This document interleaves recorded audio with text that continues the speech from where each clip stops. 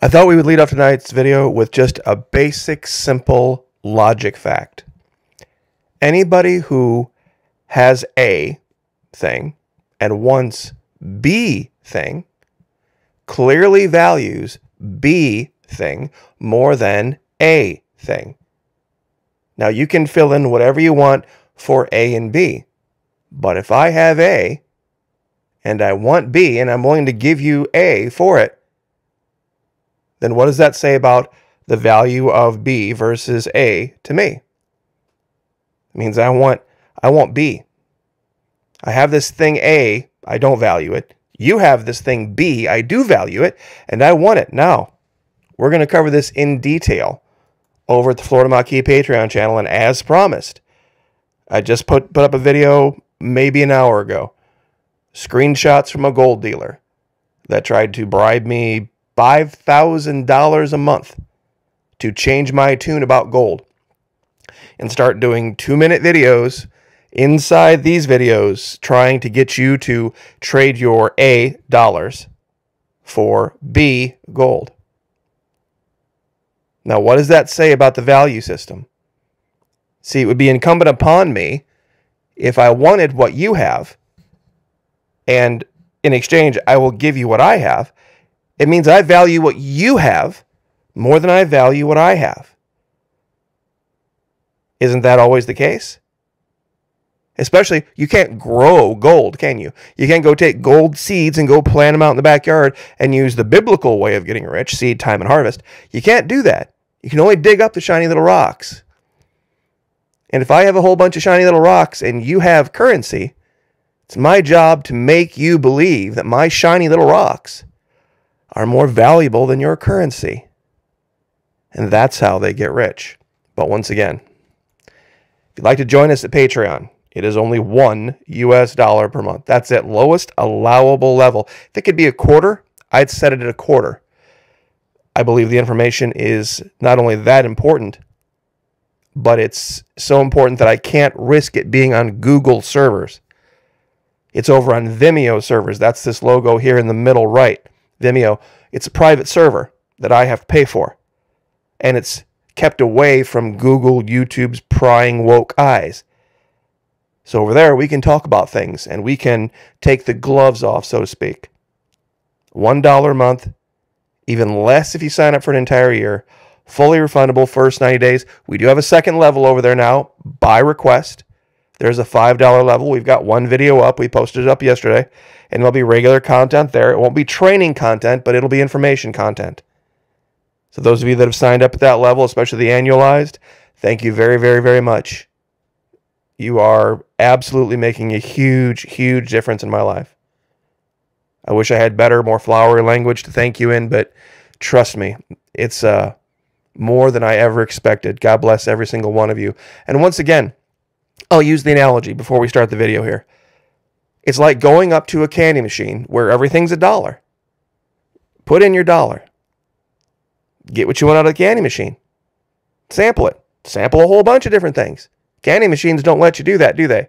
You got to pick one thing, transaction over, right? Not at Patreon. You pay your dollar, you've got 30 days, 60 days, 90 days, up to $3. Sample everything over there. If it's not for you, Every dime you spent comes right back at you, no risk. First 90 days. So, would love to have you over there, but we have a lot to talk about today. The big one, and I've been waiting for this one. Proud Boys Tarrio, and there's a specific personal reason I've been waiting for this. Proud Boys Tarrio guilty of January 6th seditious conspiracy. Now I've been watching all the right wing sites and like, no, he's not. No, he's not. They're just, they're just uh, horrible people, and it's completely unfair. Really? Is it? Is it a con? Because there was another group of people that was also convicted of this by the king. Wouldn't you want that to be the case? That would put them in very good company. Every single one of the founding fathers, according to the king at the time, were traitors and treasoners, and they needed to be taken out and hung and shot, and they weren't even worthy of uh, being treated like prisoners of war. They were, in fact, they cover that in the. Who remembers the scene in The Patriot with uh, Colonel Taving with uh, uh, Tavington and, um, of course, Benjamin Martin and the the uh, Lord, whatever his name was, they had captured a bunch of rebels. And he said, "Well, I have no prisoners of war. I have a bunch of criminals under sentence of death." And that's how they got of got out of treating them like they were actually combatants in war. Lord Lord Cornwallis, that's who it was. But some people have said Florida Maquis. I have noticed something. Your channel logo is a lot like the Proud Boys logo. Is that some kind of a coincidence or not? Well, my channel, this logo predates the Proud Boys. Number one, I don't know if they stole it from me or not, but this is my channel logo. This is the Proud Boys logo. They had nothing to do with each other. Because you would then have to lump in the Texas National Guard, the Nevada National Guard, the Texas Military Department, and every single command sergeant major in the United States Army. All my Army guys out there, all my military guys out there, even your Marine Corps guys.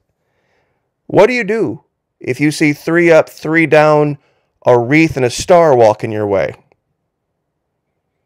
You walk the other way, don't you? If you don't have the uh, ability to, your day is about to get a very, very interesting change into it if you are not completely squared away.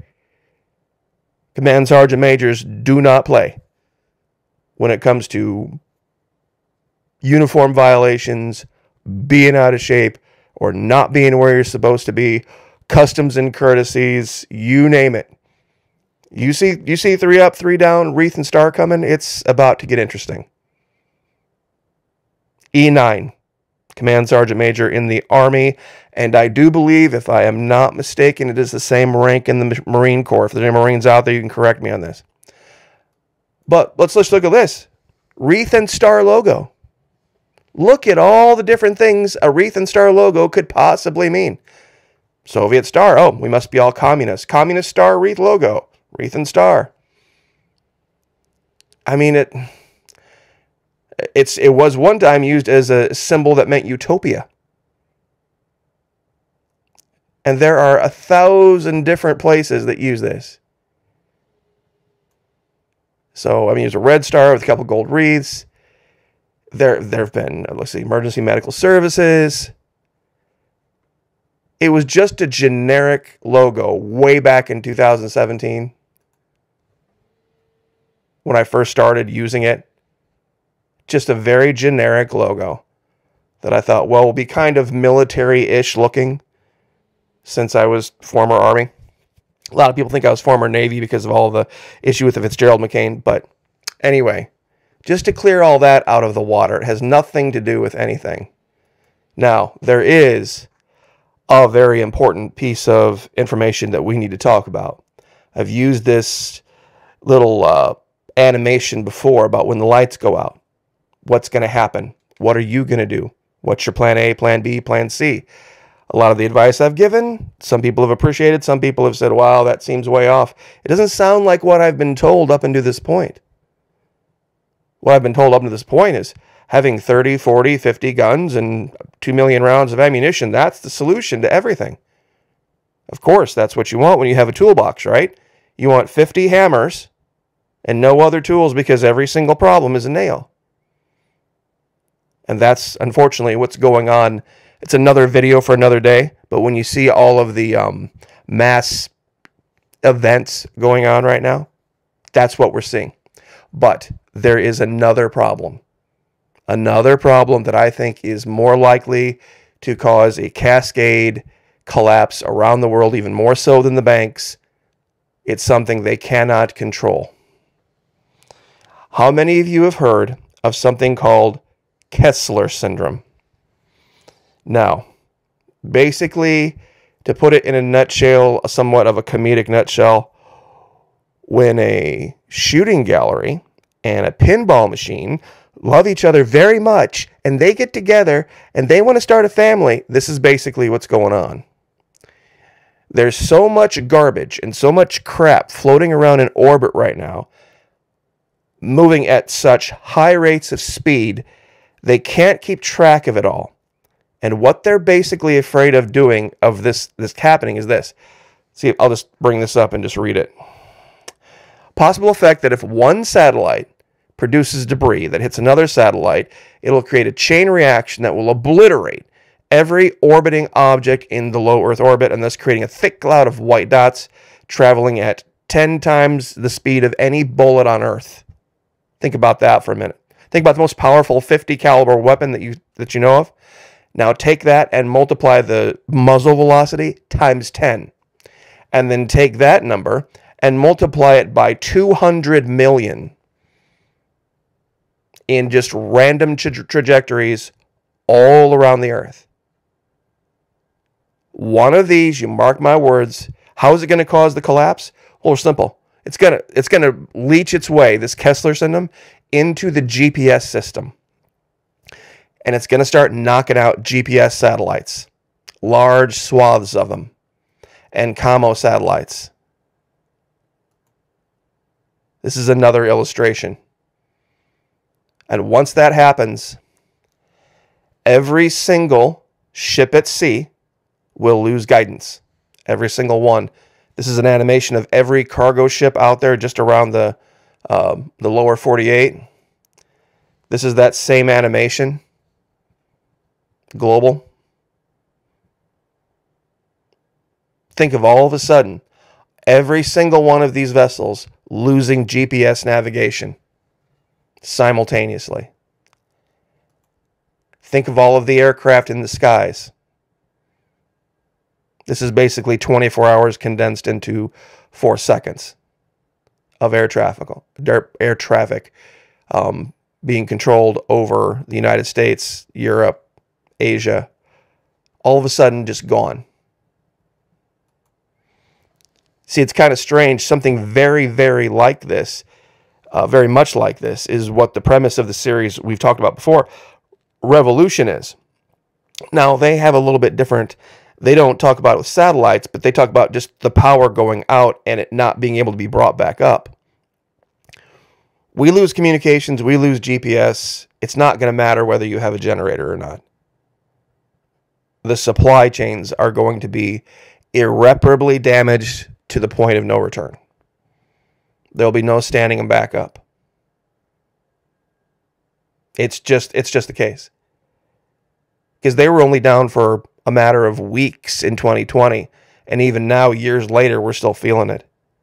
They go down for a few months, and there'll be no way to put new satellites up because of that giant cloud of bullets. There was a movie called Gravity back in 2013, um, I want to say, 2013, that kind of talked about this a little bit. Defiance, the series, talks about this um, one of the this is the series Defiance, not uh, the city. One of the things that they're going through is randomly these large vessels start careening out of orbit and crashing, and then it's a race to go scavenge them. But not to uh, bring up a, an irrelevant topic, but in that they talk about survival in a way that I remember watching at the time and asking myself, how is this not on pay per view? Because they talk about survival in very, very gritty terms. It just goes to show how much the, the woke crowd has destroyed real entertainment. In this particular case, there's this place called, let's see, go back here, called the Need Want. It's a, a meeting place, it's a pawn shop, it's a uh, brothel, it's a bar, it's a restaurant, it's basically this this one stop shop, and that's why they call it the need want. And it's basically all financed off of prostitution run by this character. This character disappears, and I thought, okay, well they're getting rid of the prostitution angle. Her sister, the mayor of the town, loses uh, the the election for mayor, and when she disappears, decides, well, I guess I'm just going to be a prostitute now too. This is it was just uh, absolutely crazy. And to leave with this, the series Colony that we've talked about um, touches on that a little bit as well. But there's a part of Colony that I think would would bother a lot of uh, hardcore preppers, especially the, the gun types, because it shows that while guns are a good tool to have available, they can be rendered useless and a giant pain in the ass at times. Because there are times that characters are spared because they're not armed. I mean, they have arms, but they don't have them and are not brandishing them at the time. And it allows them to escape and move and operate in ways that they wouldn't normally be able to. And I think that might be very well the case too. You might sometimes make yourself a target if you're walking around. If everybody in your group is walking around with an open sidearm, a weapon in their hand, maybe another weapon over their back. Everybody's got to sleep sometime, right? Everybody's got to eat sometime. Everybody's got to follow the call of nature sometime, right? It's just a matter of, of when. So, anyway, it's just an aspect of survival that you can take a little bit from Colony, you can take a little bit from Defiance, a little bit from Revolution, all these stories, and you can kind of piece together a plan. But if if anything's going to happen like this, this this would be this would be my bet. This is a a video. Are we too late to avoid Kessler syndrome? Um, just an idea of how big that cloud is. It's just unreal. And this was years ago. This was 2019. So I'll leave it there. But once again, I'll say this one last time. If I have something and you have something, if what I have I value more, I'm keeping it. If I value what you have more, I'm going to figure out a way to get you to value more what I have so you trade. That's just the game. And that's what the gold dealers are doing, using nostalgia. They want your dollars. They don't value their gold, but they need to make you believe, they need to make you believe that their gold is more valuable than your dollars. So they cook up a whole bunch of lies. And they offer guys like me five grand a month to go try to make you believe that. And like I said, if you want to see the receipts, you want to see the receipts, go over Patreon. It'll cost you a buck. Just to make the point, cost you a dollar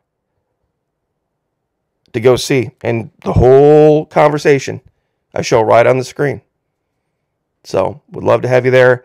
God bless. Thank you once again, everyone who's joined us. It's absolutely an amazing thing. It's making a huge, huge difference. Have a great rest of your week. Like, share, subscribe. You guys are so appreciated and valued. I just can't put it into words. Like, share, subscribe. We'll see you guys next time.